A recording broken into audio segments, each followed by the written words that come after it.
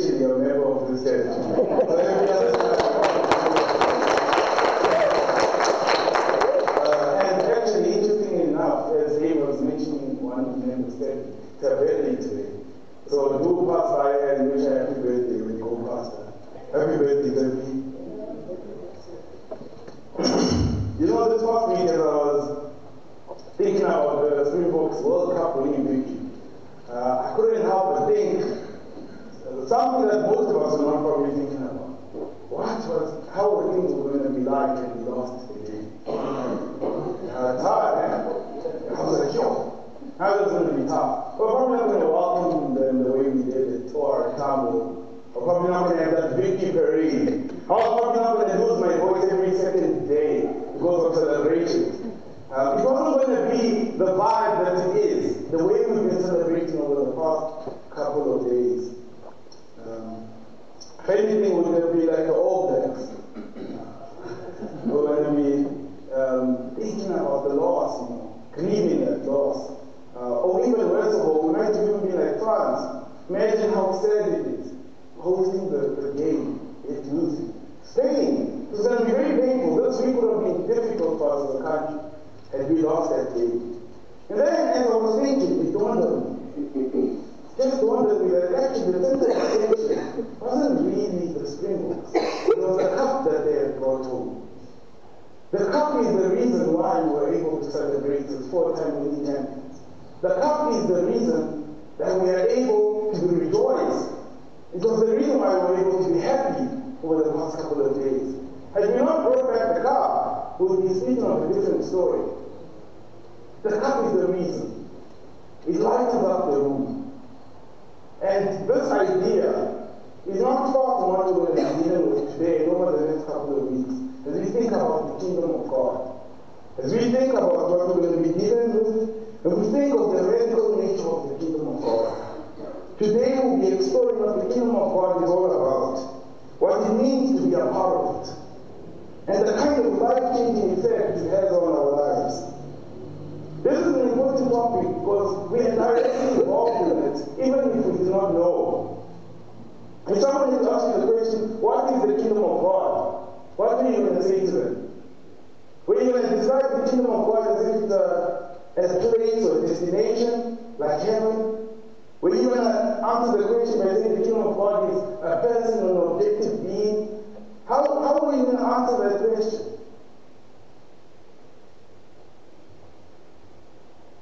As Christians, we want to be able to articulate a sound, sound and biblical meaning or answer to that question. We want to be able to answer it having read through the Bible, having understood what the Bible has to say about God's kingdom. But we don't want to understand this idea in our heads. We hope is that the power of understanding this truth will radically transform our hearts. So, before I continue with the sermon, allow me to pray for us and ask for God's help for our understanding of this. Our Father, we thank you that we are here seated and we have the opportunity to hear from your word. Lord God, may you feed our hearts. May you feed the hunger of our souls this morning. That, Father, as we listen, help it to, to be planted deep, deep within our hearts. Help me as I speak and I herald the truth, that I may do that with your power and your strength, and only that. We pray all this in your holy and precious name. Amen. Let us begin with the nature of the kingdom of God. Is the kingdom of God a person? Well, yes. If you look at the beginning of Matthew's Gospel, both Jesus and John the Baptist people in Judea to repent, for the kingdom of God is at hand. What were they talking about when they said that? They were talking about Jesus, God's Messiah. His chosen king. From the time of the Old Testament, it was prophesied that there would come a time when the Lord God Himself would reign as king and rule over all the earth. And we see that prophecy in, in passages like Isaiah. Isaiah chapter 40, verse 7 and 52, verse 7. And when you have time during the week, a look at those passages and you will see that God promises to come and rule the earth. And his rule is embodied in the person of Jesus. So yes, the kingdom of God is a person. But the kingdom of God is also a place. Several Old Testament passages show God's kingly rule acted out on earth and in heaven. For example, in Psalm 103, verse 9, the Lord says, I mean, the, the prophet says, the Lord has established his throne in heaven, and his kingdom rules over all. In Matthew 28, verse 18, when Jesus begins the words of the Great Commission, what does he say? He says that all authority in heaven and earth has been given to me. This is evidence that his kingly rule over his kingly rule is over all of heaven and all of earth. So basically, to merge the two and to put it into one statement, the kingdom of God is where wherever God's king is and where he rules supremely. Did you get that? The kingdom of God is wherever God's king is and where he rules supremely. One of the greatest passages that show Christ's supremacy above all is Colossians chapter 1, verse 15 to 18. Let me read it for us. It says, The Son is the image of the invisible God, the firstborn, firstborn over all creation. For in him all things were created, things in heaven and on earth, visible and, and invisible, whether thrones or powers or rulers or authorities. All things have been created through him and for him. He is before all things, and in him all things hold together. And he is the head of the body, the church. He is the beginning and the firstborn among the dead, so that in everything he might have the supremacy. For God was pleased to have all his fullness dwell in him, and through him to reconcile all things to himself, whether things on earth or things in heaven, by making peace through his blood shed on the cross. Can you see from the passage that I just read that the kingdom of God is centered around God's King, which is Christ? See, going back to my opening story about the World Cup winning the trophy, you can picture Christ as the trophy. Wherever Christ is, there is celebration. Wherever Christ is, that's where the kingdom is. Without Christ, there is no kingdom, there is no victory. We celebrate and rejoice in God's kingdom because we celebrate and rejoice in Christ. We love the kingdom because we love Christ. The kingdom of God is not only Christ, but it is where Christ reigns and where he reigns supremely. But there is one other element need to double on. And it's that the kingdom of God is a, is a realm or is a place in which only the saved or the redeemed of Christ part. It is only those who have the trophy who get to celebrate as champions. It is only inclusive of those who have been saved by his blood. In Colossians 1 verse 13, Paul writes, For he has rescued us from the dominion of darkness and has brought us into the kingdom of the Son he loves. Who did Christ rescue from the kingdom of darkness? Well, it is those who once dead in sin. It is those who are once ruled by the flesh and those who are once dead without hope. We can some point because every single one of us in this room. These are the people who are part of God's kingdom. Friends, the kingdom of God is his kingship, his rule, and his authority. And what a great it would be to be a part of it. But what would it take to be a part of it, you might ask? You might have heard it said, take to become a Springbok winning, I mean, a, World Cup winning Bok? What does it take to be part of God's kingdom? There's a story recorded in three of the four Gospels about a rich young man Some of you might have heard the story, some of you might be hearing the story for the first time. It's about a rich young man who desperately wants to be part of God's kingdom. That any one of us might have wanted to or would like to be. The man seemed to have his story figured out when he came to Jesus. He was prepared to answer every question that Jesus was ready to ask him. He was very much sure that nothing would stand in the way of him entering the kingdom of God. As he approached Jesus, he came, he claimed having kept all the commandments of the Torah from birth, from youth, actually. There was not one law he had broken in his view. At this point, you might think, oh, this man is quite impressive, right? He didn't break even one law. Jesus then said one thing to him that made him realize that he was disqualified from entering the kingdom of God. And it was that he couldn't give up his riches for the sake of the kingdom. He just couldn't let go of it. And as a result, according to Mark, he walked away sorrowfully. He just couldn't give up what he had treasured. He broke the very first commandment without him knowing. He just couldn't forsake it for the sake of the kingdom. But the truth in the story isn't really that. It is not the money alone that disqualifies this man from entering the kingdom of God. It is the question he asked in the very beginning. When he asked, What must I do to inherit eternal life? See, that's where he got it wrong. He thought that there was something he could do. Just after this, Jesus said to his disciples, said, How hard it is for the rich to enter the kingdom of God. Why would he say that? Why would Jesus say that? He says it because it's not the riches in of themselves, but it is because in this specific man's case, the riches is where he placed his trust. To another person, it is how can a successful man enter the kingdom of man, I mean the kingdom of God. To another person, it could be how can such an ambitious man enter the kingdom of God. How hard it is for a man like that to split their trust in whatever it is to enter the kingdom of God. We enter into the kingdom by the virtue of what Christ has done for us, and that alone. If you think that there's anything you can do or anything that you have that has made you enter the kingdom of God, and then by virtue of that you'll be disqualified from entering the kingdom of God. We enter on the basis of what Christ has done for us. A couple of verses later, it written, the disciples were even more amazed, and they said to each other, Who then can be saved?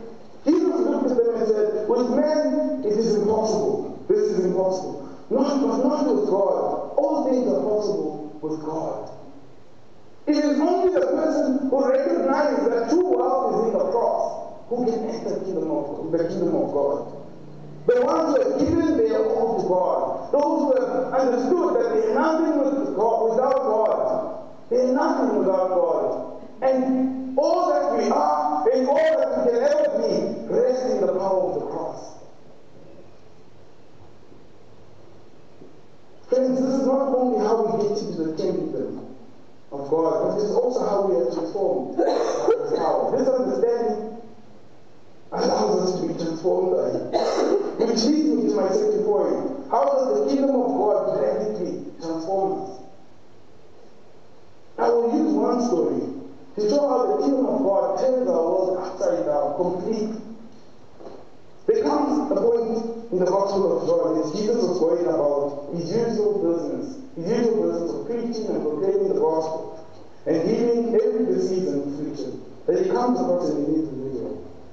So this individual, we don't know much about him. Other than that, he was born blind, and the reason that he was born blind is that the works of God might be made, made might be made known to him, might be displayed in him. And we know that he's not born blind because of any sin, no, no, no any, any sin that he performed, nor any of his family members performed. Jesus then goes ahead to this man who was born blind, and he heals him by applying mud on his eyes that he used by forming mud. The way he formed this mud was to spit from his mouth in the soil that was close by to him. His money, applies on his eyes, and he tells this man to go wash his face in the pool, of uh, Siloam, which just basically means sand. The pool that doesn't mean sand.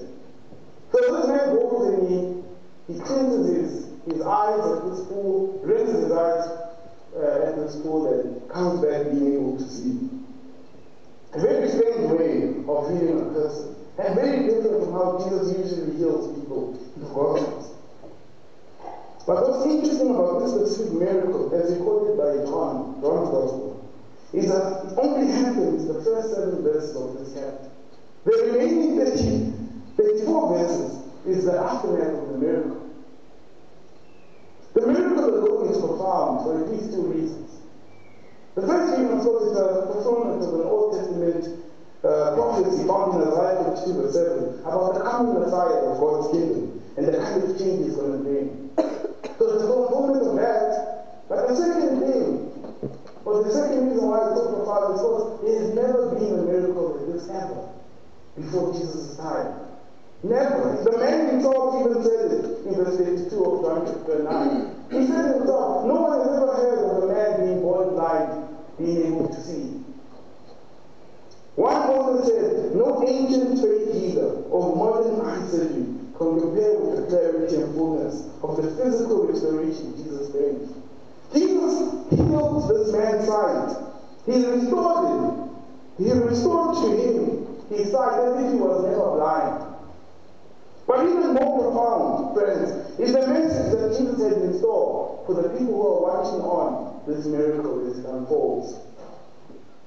From verse 13 to 34 of John chapter 9, the Pharisees begin to investigate this miracle. But why is it such a big deal to them? Why do they investigate?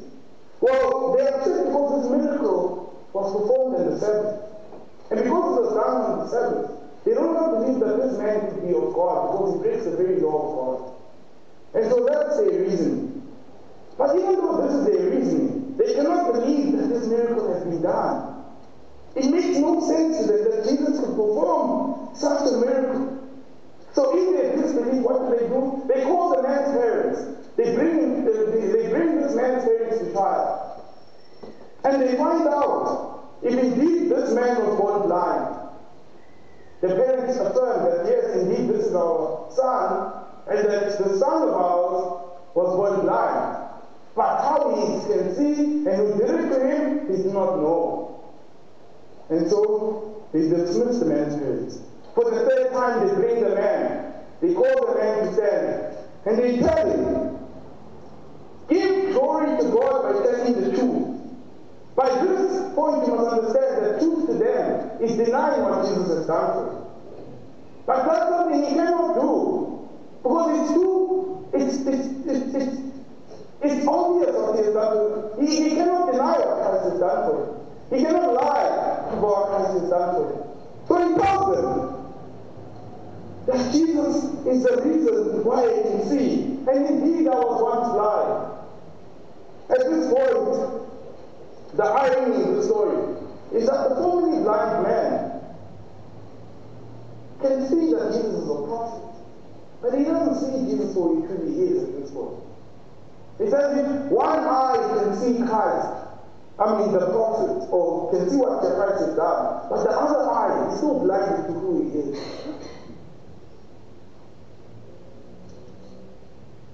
He is confident that he is healed and that he is born from God. And he knows that if only if God wasn't a man could a man do such a thing. But he doesn't have a full picture of who Christ is. The investigation ends with the Pharisees concluding that the formerly blind man is a sinner and one of Jesus' followers. And so what do they do? They take him and they cast him out of the city. Now the climax of the story isn't all of that. It's what I'm about to read, the last six verses, which was a couple of those verses displayed on the, on the screen. From verse 35 it said, Jesus heard that they had thrown him out. And he, when he found him, he said, Do you believe in the Son of Man? Who is it, sir? The man asked. Tell me so that I may believe in him. Jesus said, You have now seen him, and in fact, he is the one speaking with you. Then the man said, Lord, I believe. And he worshipped. Jesus said, For judgment has come into this world, so that the blind will see, and those who see will become blind. Some Pharisees were with him heard him say this and asked, What? Are we blind too? Jesus said, If you were blind, you would not be guilty of sin. But now that you claim you can see, your guilt remains. I don't know if you noticed. I don't know if you noticed in the story who Jesus is concerned about. Jesus isn't concerned about that self-righteous Pharisee who considers themselves inside of the insiders of the kingdom of God because they religiously keep the Sabbath. The people who think that it is what they know and not who they know that will save them. No, Jesus is not concerned about them. Actually, those people, although they, were, they are inside the city, they are outside it. Who is Jesus concerned about? He's, he's concerned about the outsider, the person who's been casted outside of the city. He approaches this man, and he approaches him on a one, on one individual basis, one-to-one basis. He approaches him and asks him and asks him the most important question that will ever be asked. They ask him, Do you believe in the Son of He asked him, Do you believe in the Son of Man? Yes, you believe I'm a prophet. Yes, you believe I am healed. Do you believe that I stand before you and the Son of Man, the Messiah, the anointed, chosen Son of God, the one about, about whom all the law and the prophets wrote about. Do you believe that I am the fullness of God? He asked him, Do you believe that I am He? And maybe this is a question we should be asking ourselves this morning. Do I believe in Jesus, the Son of Man? Do I believe that He is who He says He is? To this, the man responded, Lord, I believe, and he worshipped. A fitting response to those who have truly seen Jesus, who have truly seen him for who he is. Isn't it ironic that the ones, as I said, who are inside the city, the Pharisees and so on, are the ones whose eyes have completely been shut. But the one who is outside of the city, the one who is outside of the city, his eyes have been truly opened. The blind man began to truly see when he saw Jesus for who he was. In the kingdom of God, blessed is he who is blind, for he shall be given sight to see. You need to acknowledge that you're a sinner in need of a Savior. The kingdom of God is radically life changing for the sinner who has recognized his fallen condition. But he, but the ones who don't, but the ones who believe that they're self-sufficient, that they, they are not in need of any opening of your eyes. You do not need God. And then you do not change your life. He says, the end of by saying to the Pharisees, if you are blind, you will not be guilty of sin. But now that you claim to see, your guilt remains. The Pharisees are guilty before God because they claim to see. They have misused the law. They use the law as a means of salvation, rather as a mirror to show you are. They've misused it. It was meant to use the law as a mirror to show them how far they fall short of God.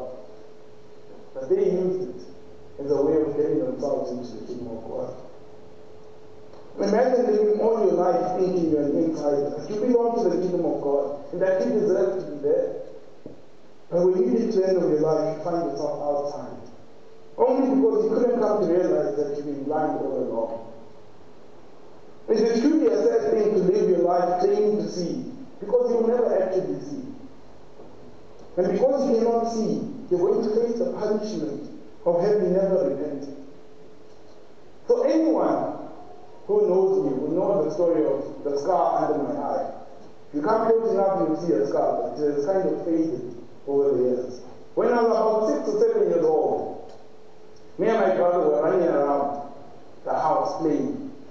Running around, running around the kid. So my brother is a year older than me. I was six at that point, he was seven.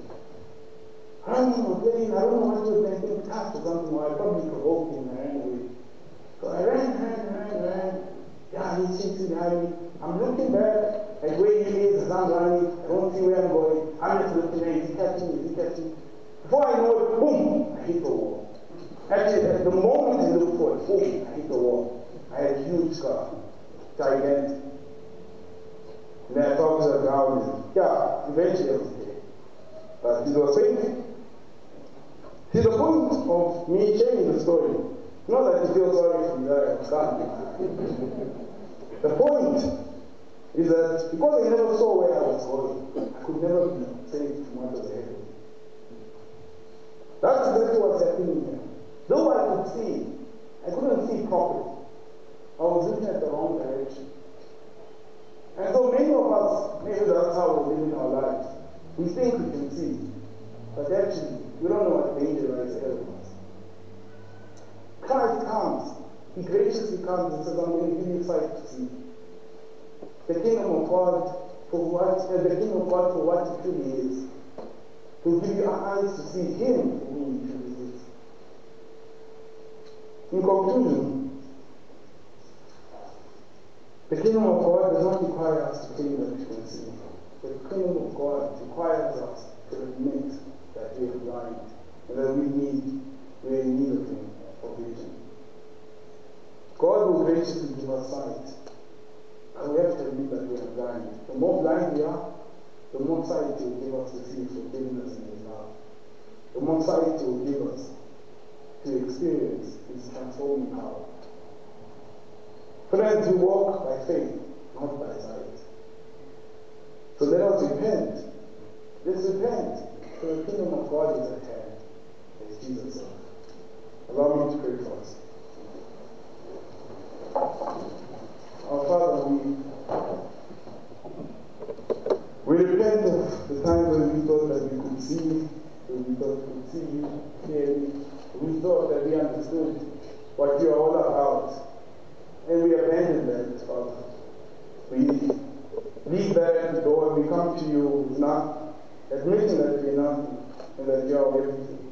May you give us grace, Father, to see you who you truly are. I will admit that we are so blind, God. We cannot see what danger lies ahead of us. And God, we open our eyes to see your great forgiveness and your great salvation that you have won for us. Oh God, we thank you for all that you are. Thank you for being our vision. Thank you for being our wealth. Thank you for being everything. God, help us each day to abandon our boast, the boast in ourselves, or whatever boast we have in ourselves, to abandon that and to keep going back to admitting that we are blind without you.